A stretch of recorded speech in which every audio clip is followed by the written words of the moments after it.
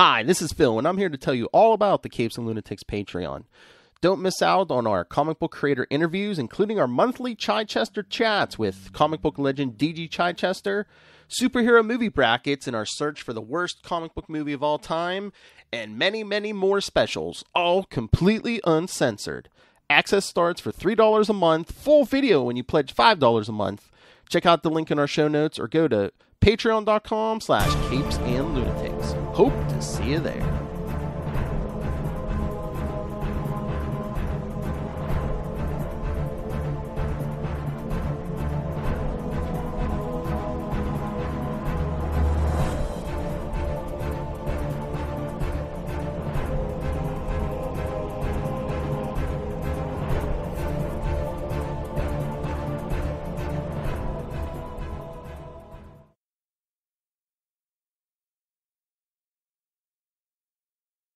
Hello, everyone. Welcome to another month of the Chichester Chats. Of course, I am Phil. There's Lilith, and of course, the man himself, the man who wrote the greatest battle of the West Coast Avengers ever, Mr. DG Chichester. Hello, sir. Cover copy does not lie, so we, we know this is a fact. It says it right there, and uh, I'm, Exactly. I'm happy to take uh, credit for it, co-credit for it. You know, Co-credit, it was- yeah. It was co-written, but uh, uh, it uh, it uh, was a, an amazing accomplishment, and that's why I never returned to the West Coast Avengers, frankly, because you really, you know, you've hit the You leave on apex, a high really, note, right, like your George right at, right, right at exactly right. it's the Costanza chats now. We've moved on to it. It's, Yes.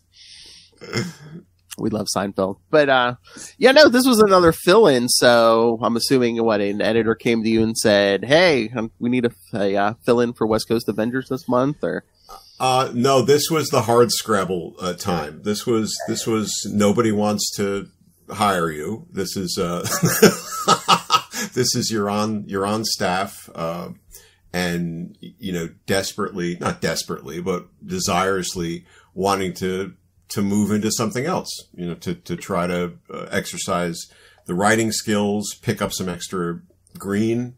Uh, on staff editors were not paid well. I'm sure they're probably still not paid well uh, all in comparison. So there were a lot of um, uh, there was a lot of talented nepotism, you know, going on. Certainly, if you look at the credits, there's a lot of editors who are writing things, assistant editors who are writing things, using the ability, the, using the fact that they were inside the walls to try to also open things up, and that's what I wanted to do. Um, certainly, I'd come out of out of film school, uh, took the job at Marvel for various different reasons, which we might have touched on, but um, but I, I I wanted to to get to writing, both from a financial point of view and also because that's ultimately what I wanted to do, and um, and so, but I wasn't confident enough to, to to do it on my own.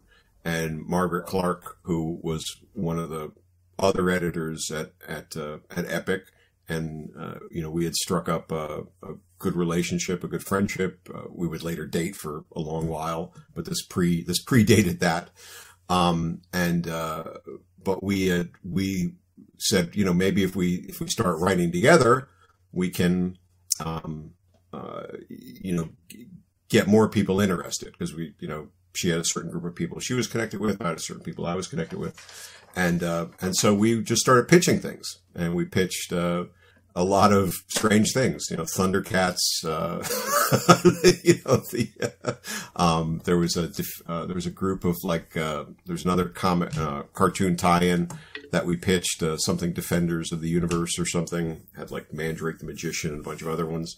Um, so, uh, this was written as a fill-in with a lot of desperate clawing at, at Mark Gruenwald's office and Howard Mackie, who was the assistant. And, you know, can you give us a shot? Can you give us a shot? Can you give us a shot? Here's an idea. Here's an idea. Here's an idea. Um, and, uh, and, and so finally, yeah, yeah, yeah, probably more just to get rid of us. you know, the, the idea was, uh, accepted and, and written and then put in the drawer as a pure fill-in. So there was a chance that this might never, ever, ever run. Um, and so the fact that it did run meant that there was a blip in the schedule uh, at some point, and uh, and then it got pulled out, and uh, you know, you could see if you've read the story. There's a couple of, uh, there's at least a page, I think, and then a couple of panels that are really were seems like they were added after the fact, like like the kind of setup flashback from I think Wonder Man or something like that. Yeah, yeah. That, that's why I didn't know how planned it was because yeah, it's like a first page, and I think Yeah. the last page is just like framing device. It's like okay, well, this is taking place during current continuity, but meanwhile, you know, Wonder Man's just sitting on the Quinjet reminiscing. It's like, oh, remember when we really were a team? E- exactly, exactly. It, you know, it's just an awkward thing, but that wasn't something that we had written, and and you can you get the sense, um, or at least I do, umpteen years later, uh, you know, both for practical purposes and writers who who are kind of learning to do what they want to do. This is so plot driven. This is so. This is like a through line of of just action, action, action, action, action. Right? There's there's no there, there's nothing here except propelling the story forward. So it's it's it's easy for editors. They don't have to worry about well, geez, you're you're mucking about with so and so's relationship, and the regular writer John Byrne or whatever, he's not going to like that. All we did was have a, a goofball adventure, and then and then I'm sure at that point, uh, Mark and uh, Mark Gruenwald and Howard Mackie didn't even come to us for those framing devices. I think they just, they probably just wrote them on their own. Um, Oh yeah, I, yeah. I'm sure. You know, Gruenwald was very continuity uh, focused and stuff. Yeah, I could see that.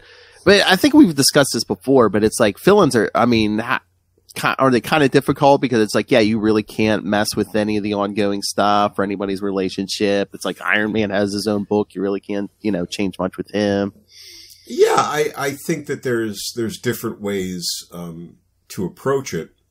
Where uh, if uh, if you're in a good relationship with the say the regular creative team, you know, when Greg Wright would would do some fill-in issues, fill-in issues, really kind of you know on Daredevil, you know, I'd hand off certain things to him because I was busy with something else, or I was setting up Elektra, or or different things where I wanted to get ahead of stuff because he and I had a had just a great creative and and friendly relationship. Um, I I I didn't care what he did in a way. I knew he was going to treat everything with respect and put it in the right place. And he would even say, "I want to do this. Is that going to be okay?" And we'd like, "Great." You know, is the other half of my brain working, the better half of my brain working in service, you know, to a story.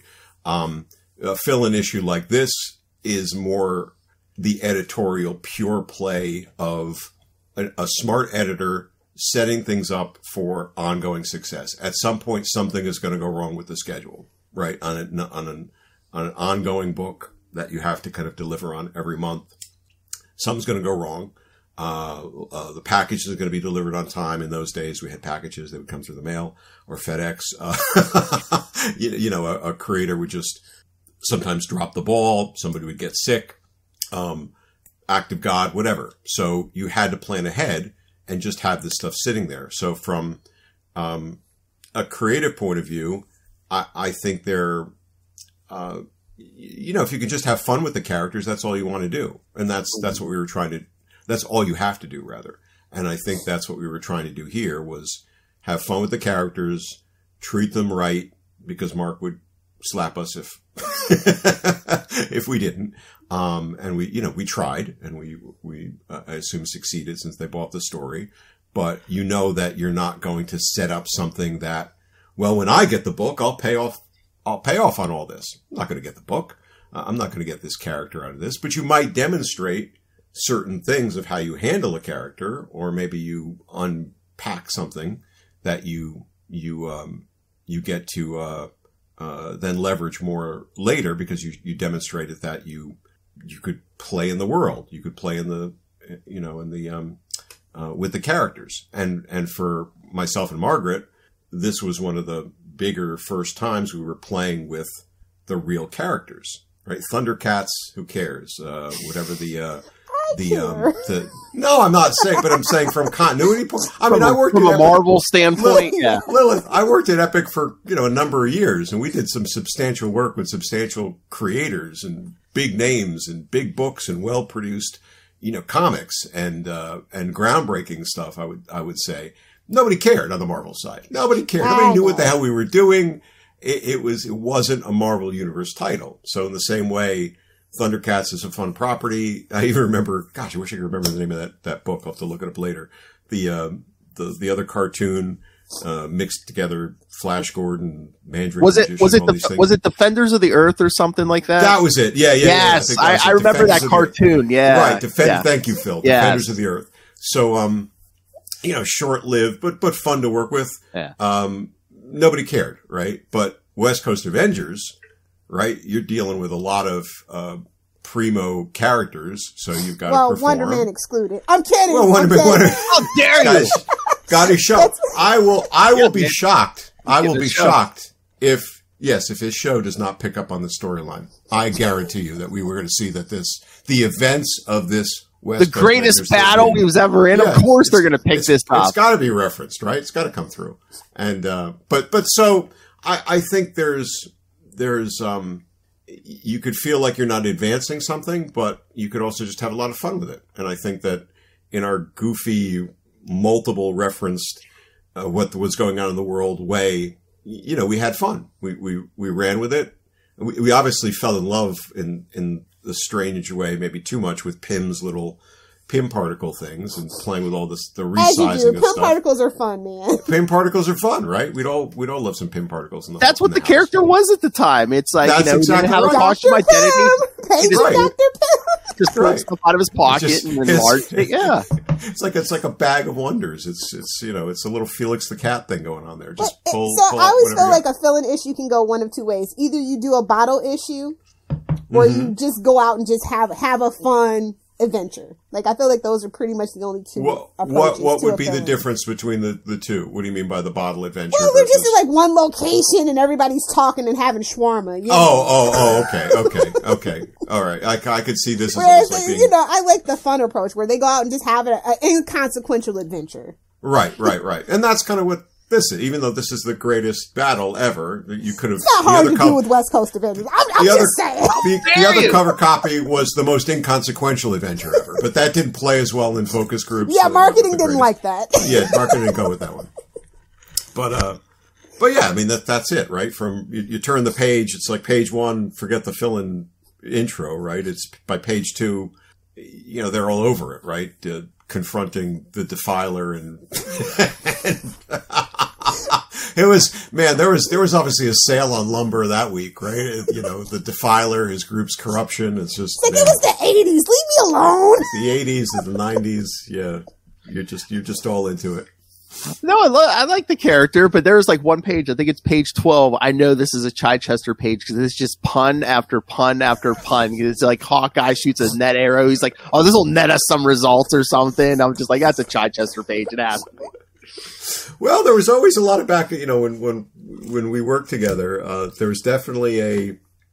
Uh, at that point, you know, for, for this book, uh, for other things later on, it, it would it would change a little bit. But there there was always a vetting process. You know, we we were we were extraordinarily fair with each other uh, in the sense of it wasn't it wasn't like one person uh, plot it and the other person script it, or or I would script three pages and then she would script three pages. It was it was a it was sitting down and kind of going over every every single thing. So somebody would say, "Here's a line, here's a thought." And then we'd vet it back and forth. I don't know if it was the most efficient way, but it, it was it was a good it was a good partnership, you know, to, to play that stuff out and definitely thinking through even the rock band stuff and what's going to come out of Pym's particles and all that stuff uh, was was played out as a as a writing partnership. So I certainly learned a lot uh, working with her on on even something like this. No, the only thing I was missing, I was like, "Oh, where's our origin for the Defiler, man? Where, where's this guy come from?" I know it was like it's not another. the 2000s. We don't need an origin for everything. Well, you No, know, but like it's- back in the eighties, they give you like one page. It's like, oh, I come from another dimension, and I just feed on uh, you know all these other. We're gonna trust our audience. It's fine. and. See, I, I mean, I, DG I don't- Chichester trusts you guys to be smart, unlike other no creators. anvils needed. I, I don't I don't want to uh, give away any spoilers or take too much credit, but I do want to say, you know, a defiling character, another dimension, dragging people into it. I don't want to say that Stranger Things, you know, read the story and and moved in that direction with Vecna. But uh, I, I again have to sort of say it probably was an inspiration for We'll start the rumor. We don't you know. Get this in his shit. so you may ultimately see in the second part of the Stranger Things season four a reference to the Defiler. It might happen, you know. Dear not- not Netflix, saying- hire. Yeah. Make this right. you know it's it's um it's an interesting almost editorial point though you, you make uh that that wasn't a request you know as we put the story forward we, again we were very fledgling at this point although we we'd later become way too um pretentious for our own good uh, we'd flip to the other direction you know in overthinking everything.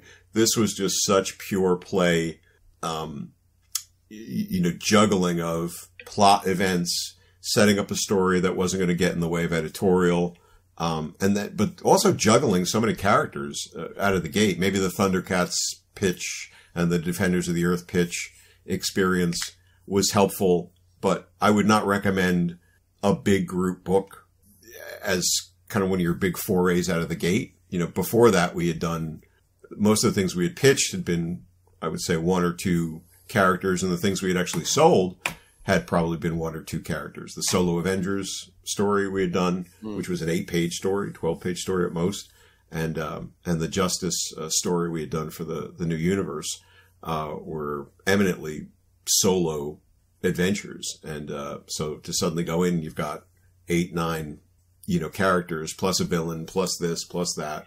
Um, maybe it was good. Maybe that was good to go in on the deep end. and I know it's a one and done, and it's like kind of like a big battle scene. But was there It is. any? Was there any like one Avenger where you're like, you know what? I kind of liked writing this character more than the other ones. I would be interested in maybe doing something more with this character. Obviously, it's Pym. Obviously. Yeah, obviously it's Pym. Obviously. Oh, he could have redeemed Hank Pym. I did. You know, I do remember liking Pym a lot, and I do remember, uh, even though we started off, this is kind of goofy and the thing that's been set up for him, uh, but we couldn't change that, you know, midway through. But I do, I do remember liking that uh, quite a bit, but not in a way of suddenly saying, "Oh, geez, we're gonna we're gonna pitch a Hank Pym, uh, you know, storyline or, or mini series." I think we were just so happy to you know, sell through a story um, and uh, and get it accepted and get paid for it and be able to say, all right, we did this one, and, and then bug, uh, you know, whatever Howard or Mark's probably more Howard's strategy to to kind of get rid of us. Uh, you know, it only became the double down. Well, you bought one. Do you want to buy another one now? You know, so it wasn't like he chased us away. It was more like, oh, this guy's a sucker, and you know, he's opened the door to us. Um, Do you remember getting a lot of notes on this? not so much. I don't remember. Um, I, I remember, for example, many more notes on that eight page solo Avengers story, which I think I mentioned before in the past, uh, always being shocked and, and, uh, and just so pleasantly, uh, surprised, uh, how much time Mark Gruenwald took with us sitting down on that eight page story and going through this is what works, this is what doesn't work, and this is what doesn't work, and this is what doesn't work for an eight page story with a with a with a character, Doctor Druid, you know, so far off the main uh, path that it, it's kind of crazy. But that's the sort of care that he took, both in his responsibility to the characters and the and the people he was working with. Um, but I don't remember many notes on on this, um, uh, and I can see the sort of editorial. Um, strong hand of not even going back to the writing team and asking for changes. There's there's one thing as I was skim reading this uh, in prep for for this. Um, somebody says something like "good grief," you know, as an exclamation. Right? I would never write "good grief." In, even if I was doing, even if I was doing Charlie Brown, right? You know, so like, as I'm wearing my my Charlie Brown emoji shirt today, um, I, I, I would not write good grief and, uh, and neither would Margaret. Uh, so that was obviously we'd written who knows what, goddamn, or, you know, trying to be edgy. Uh, we'd written something and then somebody came in and said, uh, I'll just write, we'll just, we're never going to go back to them and, and give them the chance to correct it. They just put stuff in there. Um, so, uh, so any notes that might have affected things like that, they just, Lilith ran with on their own. and didn't feel a need. How's the how's the story look? Oh, great! It looks great. Except you know that epic guy had to throw in a goddamn. We'll change that to good grief. Okay. Exactly, or something. You know, You it- keep your epic habits over there. every now and again you, you'll skim read you know some of the stuff and especially in preparation for things like this and y- you know i'll see like a, a baloney you know or you know or some or something like that that i wrote, I wrote something else and somebody swapped it to uh, that type of exclamation which again i would never use and i don't think any of the characters would ever use. But there was a i would have gone back to to the writer and i would have said hey this doesn't work. Give me give me another thing. But I realized, um, you know, talking with Howard a couple years ago on a on a on a podcast, the the the Marvel mentality was just very much your editorial runs the show, and and therefore we're just going to do whatever we want with your stuff, um, which is probably the right attitude. But coming out of Epic, I had a different I had a different mentality. I I, I knew I was the authority on certain things and I was the last stop on on certain things. But because so much of it was creator owned, we had come with it from a from a different point of view of drawing the creative um, uh, talent more into the discussion. And we might still change things, um, uh, you know, at the end of the day, uh, based upon what was best for the story of the book. Um, but uh, so from Howard's point of view, that was, you know, the, the absolute right way to go. So that I don't put that forward as any kind of like, my goodness, my, my expletive was so much better for this. Um, it's the greatest expletive ever. Um, they ruined it with a good grief, but it's just kind of, it's just kind of, when you read stuff like that, it's always like, just weird, right? to me, This is 1935. exactly. Wah, You know, gosh, gosh, Hawkeye, you know, what will we do today? Well, I think that I think at this point, even you know, by the time you get to Dare, your Daredevil run, it was starting to change already. But I think at this point, they're all like, "Oh, we're gonna have all these kids reading this." You know, we can't be, you know, Yeah, kids. kids. Yeah, yeah, and and you never want anything that's that's t- too off the you know off the beam. I'm sure I didn't write goddamn either, Yeah. but I I didn't write good grief. So somewhere in between there is the truth, and maybe if you scratch the page hard enough, it's underneath it somewhere. It's like it's like the people cut up in their Funkos thinking they're going to find a brain inside. You know, it's like, oh look, I saw this on TikTok. You know, Bro, this just gives me that gives me such anxiety. He says like opens a toy around me. I'm like, what are you doing? Leave it in the package. I did that once at a convention. I bought these James Bond uh, toys, like these ones from like the '60s or something, and and I just I opened them up in front of the guy I just bought them for, from. I thought he was His heart broke, over. bro. Hey, pretty much, he was like, "Oh, what are you doing?" It's like I want to want to see the little mechanism. I want to see how the I want to see how the pool table flips over. You know, it's kind of like, I, I, I, took it out of the plastic, but I haven't opened the box. ooh, look at that, nice. Yeah, GI Joe is a um is my current like obsession right now. So Oh, Really? man. like the old toys and stuff, they're amazing. yeah. You know, Oh, they Kung were. Oh, they are. Yeah. Kung Fu Grip. I had the um as a kid. I'm sure it's it, long, long gone. I had the Apollo space capsule, which was the best. You know, it was like they would fit inside there. It was like, amazing. So one of those primo toys of like, oh my god, this is so incredible, and then long gone. Three gone. weeks later, Exactly. We we never know what we have at the time. so many Barbies that I'm like when I look at the when I'm looking through the collectors guide, oh I had that one and I The- cut her hair. the the greatest tragedy I ever know. My father, as a ch- as a child, had like you know the first couple issues of Avengers, Spider Man. Uh-huh. You know, I'm sure that my grandmother threw them out. I'm like, no, gone. Gone. Yeah. retirement fund, no. Oh, that's just like I found some um Tarzan and like Lost in Space comics, you know, those Edward uh Edward Rice Burrow books and stuff from like Uh-huh. the sixties. And they were in absolute atrocious condition, yellow, torn, ink on the page. There was like a bullet hole through one, and I was Oh just my so gosh. sad. Oh, I like I wanted to buy them, but they were in such terrible condition. There was no way to restore them. I was just so sad when I saw that. Right. Right. Yeah. it Just kicked around completely. I mean, that's just epic pieces of, you know, pop culture we'll never get back. You know, the Twilight Mm-hmm. Zone, the original Twilight Zone comics. And I was, I was devastated. Oh wow, that sounded like Smoke. And I'm the just like, oh, why did people have to smoke so much back then? yeah. It's true. It's true. That's why that stuff's worth so much. Those those comics didn't last. You know, they didn't. Not at all. Yeah.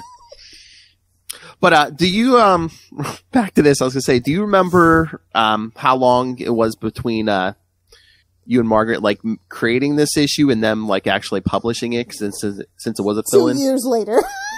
It was a it was a stretch. I don't remember what it was. It wasn't years, but it was definitely um, it was definitely one of those things of of, a few months at least. You Do know, they tell remember- you, or does the does the comic just show up in your office? Like here, you No, he taught we we uh, Howard Howard or Mark. Um, you know, somebody said, "Oh, it's going to run," um, and, and so that was that was a thrill. Um, but um, so it wasn't it wasn't a surprise. We didn't get our comics bundle and you know leafing through and say, "Wow, the greatest battle ever." I wonder what that is. You know, oh my gosh, I I, I wrote it. Um, the uh, um, but it was it it was definitely a, a little bit of a stretch of time because I remember it sort of going back to being you know making this the, the sale wasn't suddenly oh the floodgates open now they recognize our amazing talents and and we're uh, you know we're uh, we're rife uh, ripe with uh, success and and assignments. We were uh, we were definitely back to uh, you know working the system you know trying to trying to sell a, another story uh, in that way um, but but um, I do remember vaguely you know Howard you know probably saying oh it's going to run in whatever issue issue 38 so I mean, I appreciate that. I mean, yeah, back in the day, like you know, even if you just got a fill-in issue, they gave you something every month. These days, you know, writing for the trades, it's like, oh, we're going to be late a month. You're not going to get your, you know, or three. month. Yeah. what do you mean that they didn't they don't they don't have Well, again, like if something's late, they're just going to be like, yeah, you're not getting an Avengers this month. That's how they do Oh, it now. really? There, Yeah. There's not. Yeah. I, Yeah, I no, don't there's- follow enough things on a month to month basis. Yeah, there's, there's such recognize thing as a fill-in this time. Yeah, I know if the team's late, it's late. really. So Uh-huh. there's no like there's no maintenance of of the schedule yeah, on a it's regular been like that for a couple of years. I will But get it might be pandemic related. Who knows? I was gonna That's say, when yeah, we really started noticing it. But yeah, And, the, and these days, it might just be the supply chain. Yeah, it might not even be the creators. It might just be, yeah, we can't get unless it there. it's you know that one person. It, it we might wanna talk also about 'cause be. DJ's, DG, DG's here.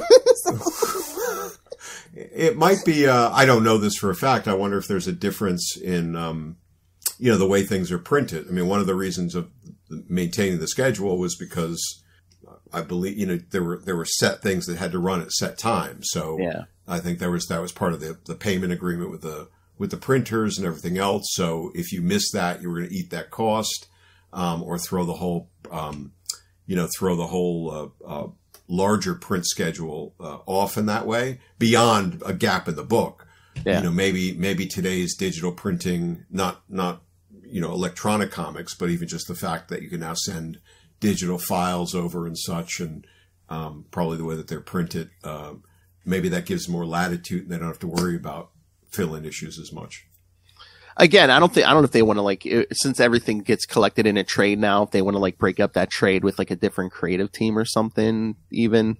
Maybe I don't know. Who knows how much they Yeah. think about the that. model forward. is very weird now. I, I just wish for a simpler time, honestly. And we're getting that. You know, we're all going back to the 90s at this point. Everything Yeah, Marvel's back to doing a the bunch 90s. of 90s stuff. Yeah, no. Stranger Things, the, the sequel, the next, se- se- the, you know, the next series in Stranger Things is going to be in the 90s, obviously. Just like that 90s show. So happy for that.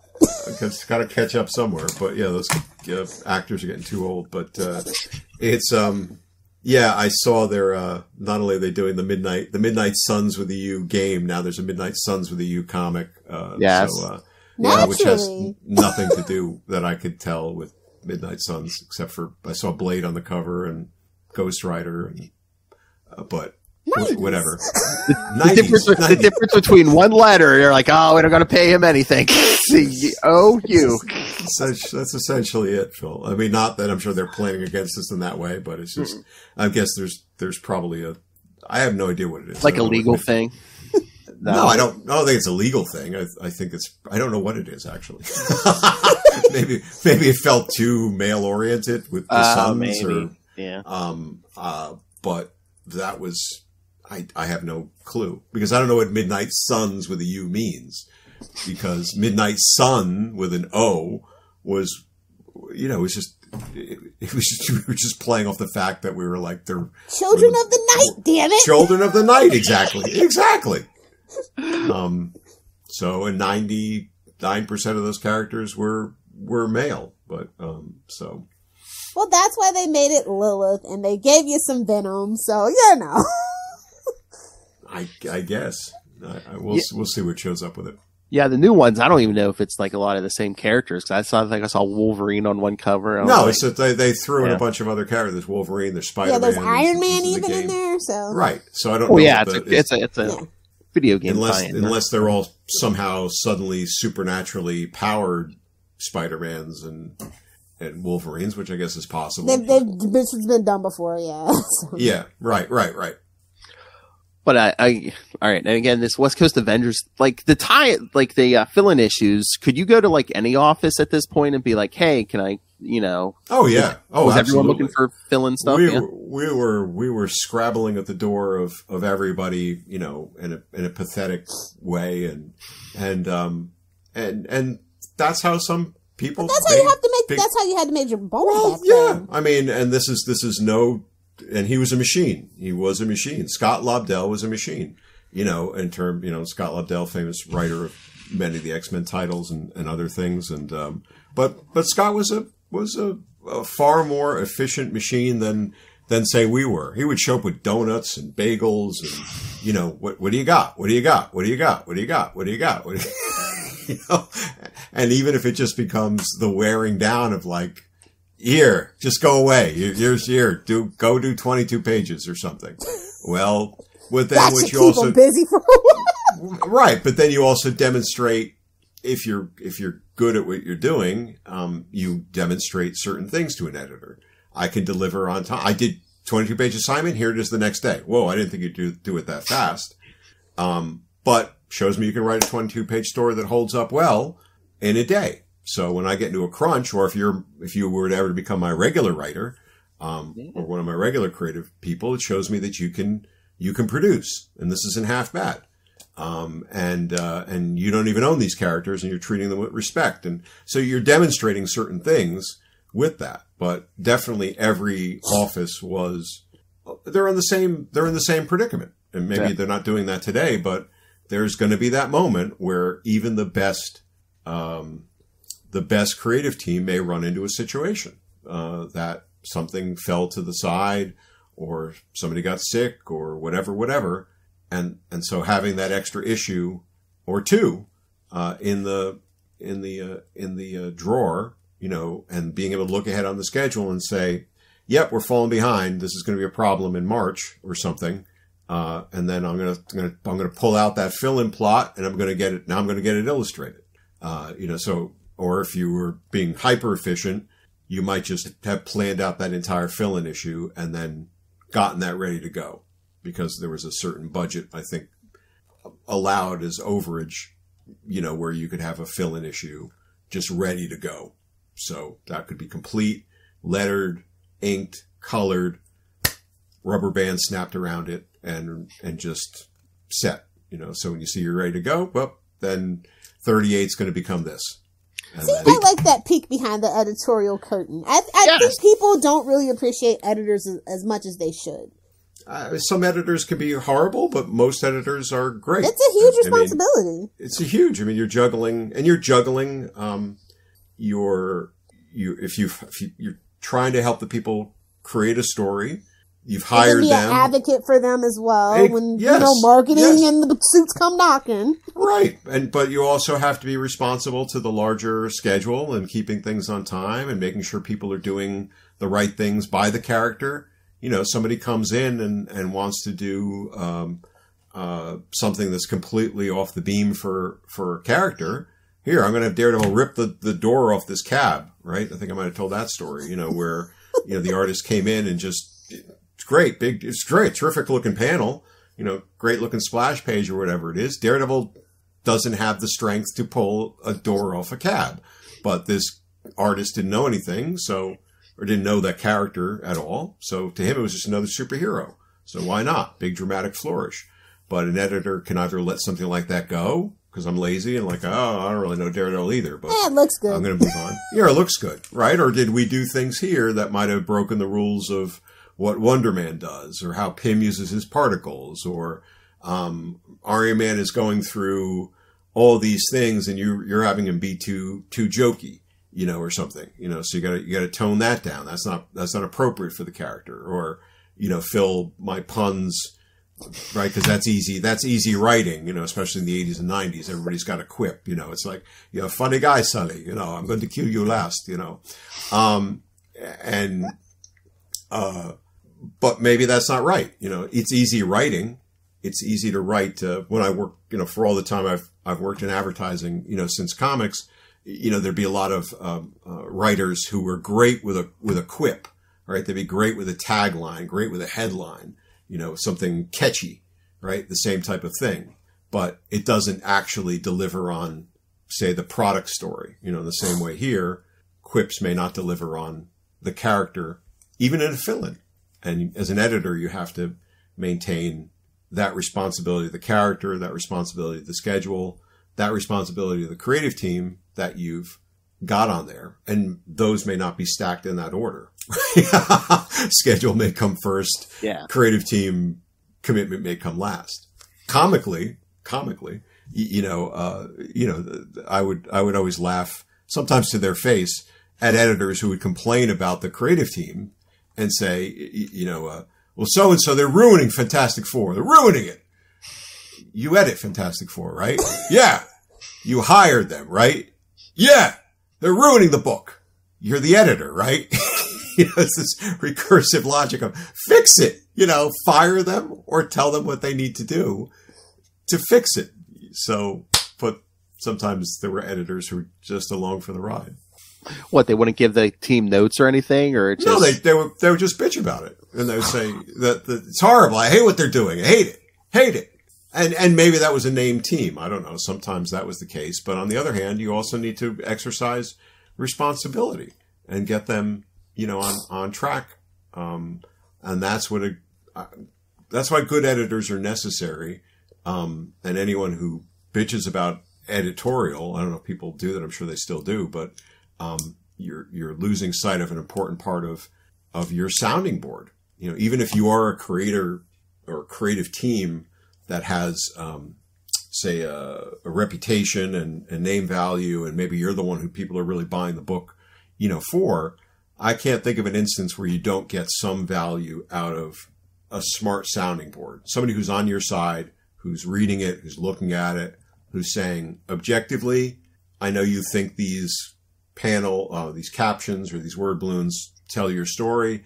They don't, right? They're, they're missing something. Or maybe the art I can't read.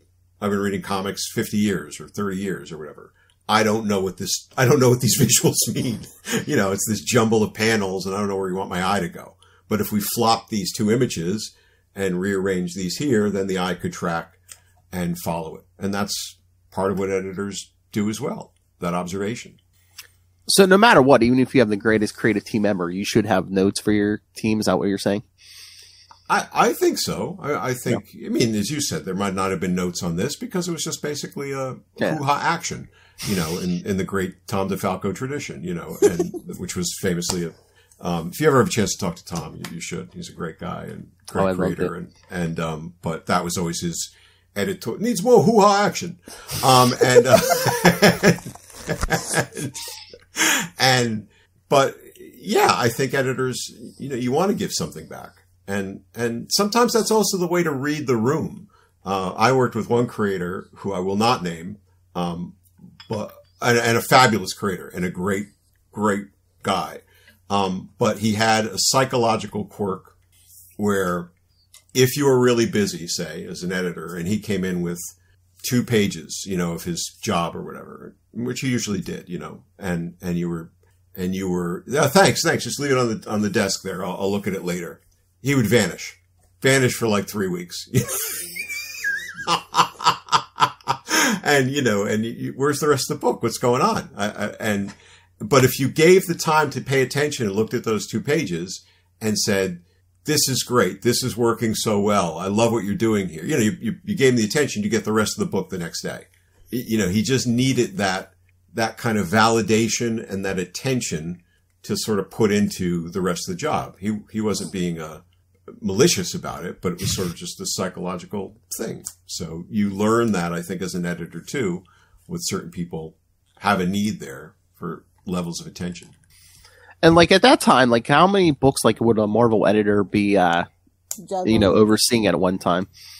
Um, well, outside of the X Men office, who was basically Batman before Batman. right, right, and and they might have been spread out, you know, between a couple of sub offices uh, as well. I I think, um, I mean, I want to say seven to ten. You know, my you know probably probably, which is wow. you know, which is a, a fair amount of stuff. You know, think about that that you're juggling not just the issues right? That's seven to ten comics. Brand, yeah. Well, the brand, but also think about now that's that's that's four times the number of people per issue, right? You've got a writer, you've got a penciler, you've got an inker. I'm sorry, that's five. Letterer, colorist, right? So now you got five people times seven that you're juggling. So you're juggling all those people. You're trying to keep them all coordinated. You're coordinating. Uh, plot came in from from Dan. Now that's got to go out to penciler X. Yeah, so a lot of a lot of moving pieces you're keeping you're keeping track of and continuing and reading it, making sure it's it's you know it's set up for for success. So and now we know why some writers become their own editors. well, but that's that's I I I think I'm extremely uh, judgmental of myself. You guys have heard me ding myself, and will continue to hear that. But um, I, I cannot I cannot imagine a situation where a good editor is not going to give value back to even the best writer and, and artist on it. And so people who think they want to just be their own editors, you're going to miss something. You're going to miss something. Um, I, have you know, been working on this thing for way too long now. Uh, Nonsense. Um, Everything's we, a work in progress until everything's a work in progress. But, um, but I had written, uh, you know, some sequences where I was being ex- just really, I thought I was getting away from my old habits of overwriting things and had kind of underwritten certain scenes, you know, because I didn't think it needed anything. It just needed, like, the action was clear. The illustrations for the action were clear. Um, I didn't need to fill it in with beats or whatever. But I had somebody read it, um, I had Greg Wright read it from an editorial point of view. Said, be, be as judgmental as you always are and, and really kind of rip into this. And uh, so I was scared to actually show it to him. Um, and, and his editorial vision was you need to put more things in here. You actually need to kind of create some dialogue or caption beats because what's happening is the reader is going to read this too fast. You know, they're going to, they're going to scan this page and take it in and go on to the next one. And you actually need to slow this down over here to get the effect that you want. You don't want this moment, the sequence of events that are happening to be lost on the reader and they will be. But in my head, I was like, I'm being efficient. I'm not overwriting. I'm letting the, letting the art carry the story. But in letting the art carry the story, it was losing some other effects. So that wasn't something I could recognize for myself. And that's why I think, a, you know, an editor is, is necessary. And if you're, if the writer who's editing himself is is going to miss stuff like that. Well, that's what I was going to say. So yeah, so it's like even the best writer in the world, you know, you need that fresh set of eyes, that fresh sure. perspective. Yeah, mm-hmm. makes sense. But no, I was a- I was asking you about the uh, time you know how long it took to get this issue published because it's like especially with a team book it's like uh, this thing has to have some kind of shelf life because you know they publish this three years from now it might be like oh well Tigra is not on the team anymore or you yeah, know Iron Man's not on the team we're, wearing a different suit of armor yeah, yeah clearly though that was covered by the fabulous uh, framing device oh that's know. true oh I remember when. You know, remember when these like, people were on the team? Yeah, exactly. Sort of like you know, like Wonder Man with his beard and you know his own walker. I remember when the team was composed. Gather round, children. Yeah, exactly. you know, so so you always got that crutch you know, to to go with, I mean, or or you do it in a much more more elegant fashion. Uh, uh, you know, like the last last issue of Daredevil that me and Lee Weeks did, you know, before the the revamp and you know, yeah. um, uh, what did Tim Tuohy, the editor, put into the, he put it into the, uh, the credits box, I think. It's something like a, a forgotten tale of, of Daredevil or something like that. So, you know, and he didn't have to do anything, but because it was literally the last issue of before the pass off to Kevin Smith and Joe Quesada. So, yeah. um, but he decided to kind of take care of it in that, in that fashion. Oh, you should have just been like, you know, writers, yeah, DG Chichester, Alan Smithee. I mean, just. I liked I liked that last issue. I had no I had no qualms. Oh no, no, no! I, I just it just as the, the inside gag, you know. Know, Maybe get two paychecks. You never know. Yes, that's like uh, that's the thing of the pandemic, right? All the people working Shekels, three man. gigs. Gotta give 'em their you know. Uh, I swear I had another question about this. Uh, It feels like you had fun with this issue, though. So Oh, I think yeah. that's the most important thing. Is I, I, just have I, fun. I think, yeah, I think absolutely. I think it was, it was, uh, I cannot remember really the specifics of it, but I think just in general, there's a sense of probably, um of, uh, of, it's such a great collection of characters too. yeah, no, it's def- definitely. I mean, that was fun. It was fun to work with a group. It was fun to work with real characters. I think there was probably trepidation of like, geez, this is our, this is our big breakthrough chance to work with things. Let's not screw it up. Um, so I'm sure there was some some sense of that, but I think once we got into it and and had the even as cliched as the the rock star villain and the multidimensional things and the you know the goofiness of the Pym particle and there were certainly plenty of times, uh, especially back in the in the day, and I'd be at a convention and people would come up with this comic and like, what's this? What was the uh, whole theory around the catcher's mitt? Why did you like do this? You know, for because there's a ridiculous moment where Pym makes a giant sized catcher's mitt. You know, it so- was fun. Damn it! yeah, pretty Lighten much. up! And and I, and but I, I think we would have had a you know a good time just kind of riffing and going. And there's no character development in this, right? It is it is pure action right from the get go. well, get Kids it, get- it kind of has Sometimes to you be. need a break from it. yes. Well, I mean, it kind of has to be. Again, it's a one and done. You know, you, you Yeah. can't Yeah. mess with the regular team story, and Right, right, right, right, right. And just and just racing, you know, racing it forward. Um, but I think it also reads as uh, you know, the sense of two people on the East Coast who haven't really traveled to California. Exactly. you know, has that sort of sense. it's a very like, uh, different Ca- culture. California's weird. We don't really know anything about it, so uh, you know, we'll uh, we're just gonna write it like this. Just rock stars and movie stars. Rock stars, yeah, exactly. Here's the you know, here's the L.A. Uh, the L.A. rocker as villain type thing. So rock stars and their drugs and their interdimensional portals. exactly, exactly. I would have written it much differently. Well, uh, LA is a hell hell math. Hashtag. Yeah, there you go. There you go. I live there. I can say that. You've lived everywhere. All right. Well, I'm from San Diego too, so take that one. Oh, that's true. Oh, that's true. Yeah. That's where she was born. Uh oh, so just so I'm clear, so yeah, so when you like pitch like a fill-in issue, like you had to go. There wasn't like a master list of like, oh hey, we need a West Coast Avengers fill-in issue. No. We need a No. whatever fill-in No. issue. I, I no.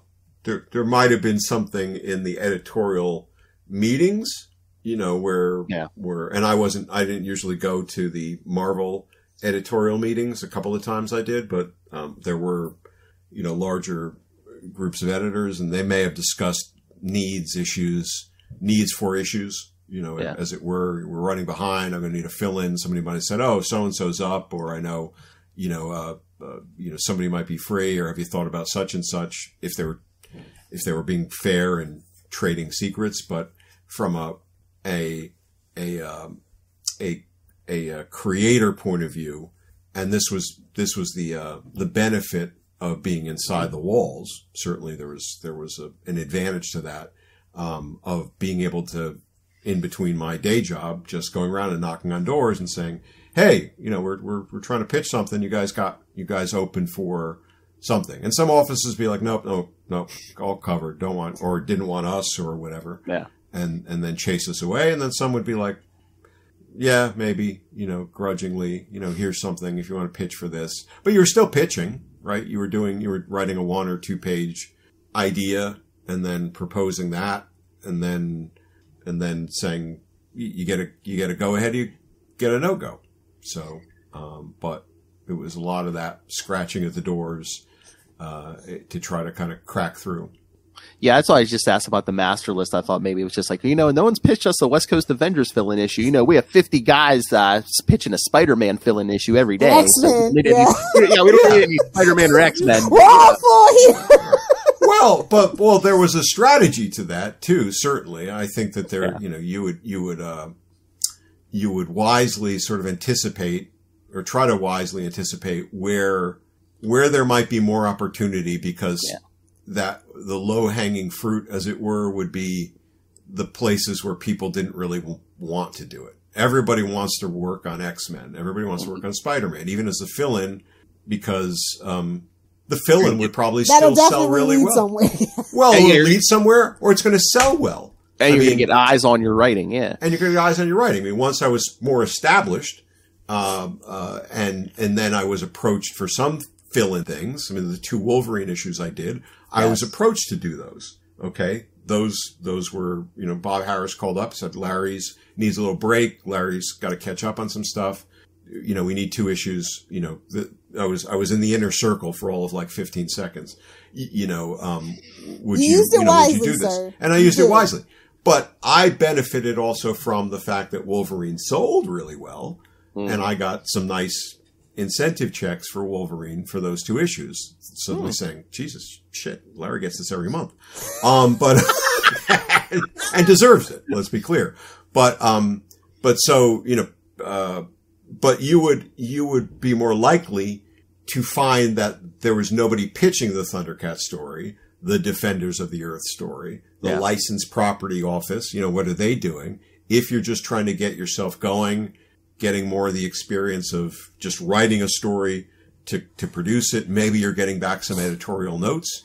You know, uh, just because the editor is doing Thundercats doesn't mean that editor doesn't have good story sense and can give you, you know, a sense that your story is pretty well paced, but your dialogue sucks. Or your dialogue's really crackling, but your pacing doesn't, you know, work and you need to correct that. You're going to learn, you're going to keep learning along the way.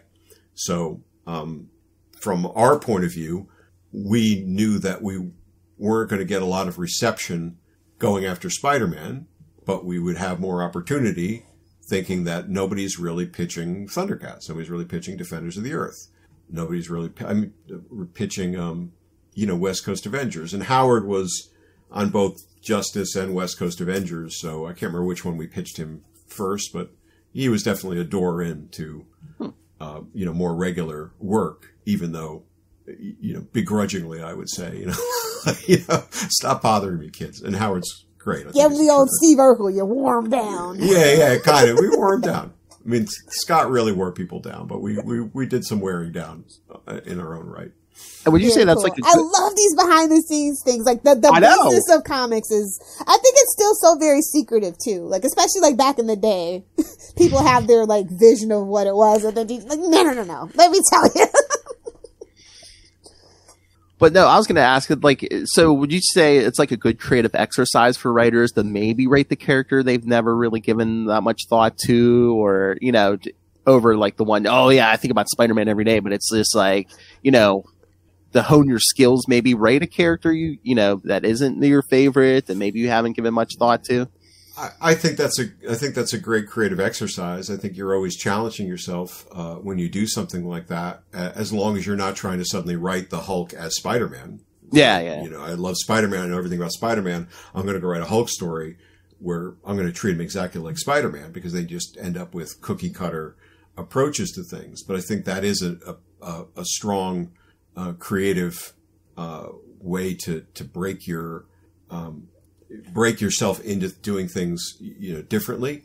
Uh, and and one of the long-standing best creative tactics to try to make an impression on things was always to find the character that nobody cared about and and come at that from a different direction and and do something more with that. And famously, that can play out with a with a Sandman or a Swamp Thing, right? right in that way. Nobody cared about Swamp Thing until I mean they did, and then they didn't, and then Alan Moore and and Bissette and and characters come in, and nobody cared what they did with it. Nobody cared, right? I'm sure Karen Berger and company cared very much about the editorial, but there wasn't as much scrutiny. So suddenly you could tell a, a story about worms and you know reconstructions and all these things because nobody's really paying attention and figure we're going to cancel this book in eight issues uh, because the sales are plummeting.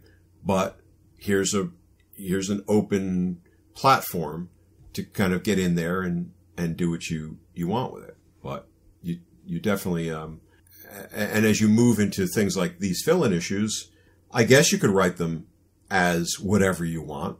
But uh, I know that the way Margaret and I approached it, um, even for this fill-in issue, we pulled all the uh, Marvel Universe handbooks off the shelf and we uh, we read up. Okay, what is what do we need to know about Wonder Man? What do we need to know about Iron Man? What do we know about Pym? What do we know about Pym particles? I mean, we did far more reading and research about you know, these 20 odd fill-in pages, uh, than it, it, it warranted or probably came through on the page, but we wanted to feel informed and it was in our nature to find something, something that would be the little bit thing that we play with, right? Here, oh, Hawkeye's got these type of arrows. He very rarely uses them.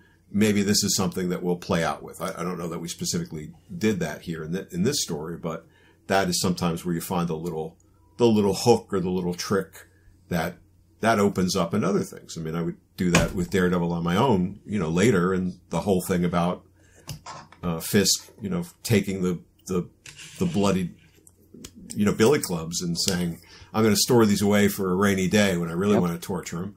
You know, that would become the jumping off point for me to say, "Well, whatever happened to those things?" Right? Um, and I could have done more with them, but I did enough with them to to make something of a story out of it. So, I mean, it's not necessary for to tell a good comic book story, but I kind of like that. Like, yeah, like the, the example you just mentioned, where like writers like actually like reference back to stuff other writers have done like years previous, and you know. Mm-hmm because these aren't supposed to be the same characters having the same adventures over all these decades. So it's like it, it kind of right.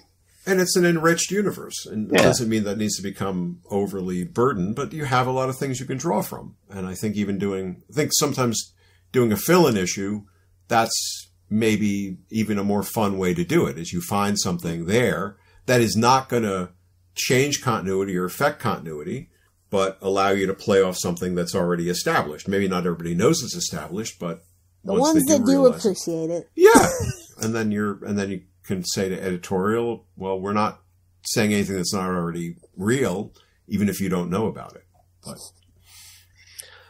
and uh, probably the, the tip to give to all up and comers is probably like you were talking before about you know if you can make a the you know you take a lower tier book and make it like a big thing like Alan Moore did with Swamp Thing. It's like yeah yeah you could sell you could sell a, a million issues of Spider Man yeah who, who, can't but you know take it you you could sell uh, five hundred thousand copies of Swamp Thing okay kid you got a job you know you got uh, right, employment. And and you have to strike a balance between the two if you're looking to break into one of the bigger companies and their yeah. properties. Where where does it come through? Picking the most obscure character that you're so in love with, and you may have the best idea ever for it, is is probably too far afield in one way because mm-hmm. the first reaction is going to be, well, uh, uh, you know, why would we want to resurrect so and so? Maybe later on they'll do it, I remember pitching a Human Target, you know, series a thousand years ago. God bless Archie, your soul. And, and, Archie and Archie was like, you know, Archie Goodwin, uh, you know, was you like, were two well, decades too soon. Well, kind of, you know, he's, he's sort of, and he's like, well, who cares about that, or what's why why would we want to bring that character back? It doesn't make any sense. Um, but and I'm not going to dispute Archie's logic, uh, but uh, uh, but that's way out there, you know, or was you know at that time. But if you strategically were sort of to look at different offices and say, uh, well, Phil's got five titles or seven titles that he, he edits on a regular basis. Four of them are really successful. Three look like they're kind of stumbling along and maybe aren't as strong. Um, maybe I'll, and I know Phil's going to be at a convention. I'll go and I'll pitch this to Phil, you know, or, you know, in this way, or I'll contact him by email or, or whatever and say, you know, here, maybe there's an in, you know, in this way because that's a character that seems like it's on its descent uh, or or stumbling along, and maybe he's looking for an edge here. But it's already being published, so it's got some, you know, it's got something going on with it, as opposed to kind of just having to drag it out of out of nowhere and run with it. I, I, mean, this seems to be the era, you know, if you have something, a pitch for some of these lesser known characters, because I mean, that seems to be Tom King's niche right now. I mean, he did that 12 issue Mr. Miracle series, then he did an Adam mm-hmm. Strange. Now he's doing Human Target. Mm-hmm. Yeah, right. Exactly. And, and, and now he's got a, yeah, track record, I guess, of doing that. So maybe that becomes that becomes his thing, and that becomes something for DC, you know, PR to be able to play up, you know, more, right? You know, he's got a he's got a track record of being able to take somewhat more obscure characters and find a fresh take, and and that becomes a, a charge in its own right. But especially, but if you go to the Marvel side, I don't know if is it kind of like a uh, little bit of a trap these days where it's like I don't know about the, if this character's not that well known, but they're not, and they're not getting there. They're not going to show up in a TV show or movie anytime soon. I don't know if we want to take a chance on this, you know, lesser known character. I, hard to say, right? I don't know. Yeah. I don't know what the. I have no clue what the editorial. Yeah, Yeah. we're back to a billion X books again, so you know. Uh, yeah. What? So what's the editorial balance there? And yet there's no X Men movies, so that's not tied into that. Clearly, it's just tied into the fact it's it's X Men, and they're Yeah. they're they're doing they're doing well with that. So, but it's always a matter of. Uh, you know that might be a way in for creators if they get to conventions and they meet editors if there are editors at that shows you know to, to just ask about are there fill-in issues you, you know like you said it doesn't seem like there might be on the schedules but i can't imagine there's there's not um, but uh, Well, everybody's working so damn hard with eight books, so Mhm. there's got to be a crack somewhere in the machine. like literally, all, all, all like the all the big books, and then like all the creators are just literally like the same, like six people on both sides of the aisle. yeah. I mean there's got to be something uh, i would just think from again from a, a just a sheer publishing schedule point of view i would think there's there's got to be a need for having that fill-in issue at the ready but um, but then maybe the rest of it's running so efficiently or maybe they don't need to worry about as i said the the gaps in the publishing schedule for some reason as they used to I think at Marvel now you could pitch like '90s miniseries because it seems like they're doing a lot of the and they're '90s like, stuff. "Greenlit, go!" Nineties are Yeah. back. We know, Phil. We you know, know. may, You're maybe maybe I could go in and say, listen, the idea is Midnight Suns with an O instead of a U. What do? Oh, Or- You know, just or- that's, that's that's all. That's all I have to say. You know, it's just I know what I want to see a uh, miniseries by DG Chichester set in that Daredevil '90s period. That's what I want. I mean, come on, the dude's getting uh, more TV shows, so come on. that's It right. like- We'll see- They're definitely see going what- to need a flashback season. Or hell, hell, let him fill it. hey, The the king of the fill-in issues here. Let him fill in for Chip because I mean, Chip's got so much stuff going on now. Daredevil, it's- he's going to be writing Batman. He's got his own creator stuff going on. I mean, you you know there was a Defiler Daredevil story. You know, um, at some point, you know that was always going to be uh, the case. I'm shocked that they untold get to tale that we finally finally ready to tell it. it. the untold story. Ah, and just just for nostalgia's sake, you have you have to put on the cover Daredevil's greatest battle. Greatest battle ever, right? you with thought a the little- Kingpin with- was bad. with a little '90s, you know, Wonder Man, you know, enough said, you know, coming out. Of. Yes. Ah. All right. Any other questions for this man, Lil Hellfire? No, sir. Let him have his great Saturday. well, thank you guys. Always a great way to start the Saturday with the two of you. Thank you again. And uh, what's my assignment for next uh, next time out? Do you have it? Well, Our- the first assignment is to have safe travels. well, thank you. Yes, hopefully, hopefully. Uh, but yes, next month, uh, the Punisher, uh, Captain America, uh, story, Blood and Glory. Yeah, I got Oh, a lot of wow. homework to do on that one, actually. Oh, okay. All right. Wow, that's a that's a that's a good bookend to this because that would be the last thing that me and Margaret wrote together. And Oh, uh, really? And so that would be uh, um, and there, yeah, a lot of his a lot of history behind that one. So um, uh, that's a that's a that's a fun one. We'll we'll definitely we'll definitely chew the microphone on that.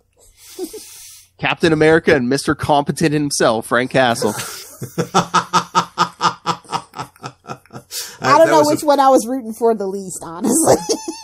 That was, that was uh, that was well. We'll talk all about that. There's, uh, I'll, I'll see if I have, if I can find my uh, my full set of How to Kill and the Anarchist Cookbook, which were kind of my my bibles for uh, writing all the castle scenes. in that nice. Yay. All right. Before we go, uh, sir, tell everyone about the uh, newsletter and every- anything else you have going on. Uh, uh, newsletter. Oh, you can find Terrificon, it- too. Yeah. Yep, I was going to say it's uh, storymaze.substack.com is my my newsletter, and uh, if you're in the Northeast area, the Connecticut area specifically, I'll be at Terrificon at the end of July. Uh, so I'll be there for Saturday and Sunday at the show. Uh, please, if you're in the area, drop by and uh, say hello in person. And bring a comic. Bring a comic, exactly. Bring West Coast Avengers 38. All right. Again, thank you, sir, so much for. Uh, Thank you guys. This was fun. This was. I wasn't sure we were going to be able to fill the time with uh, this, I, but I, we. you should we know this by it. now. you know what? All right. Well, good good grief, I say to you both, and uh, and have Best ending yet. catch you later. Thank you, Be sir. good, guys. Bye bye.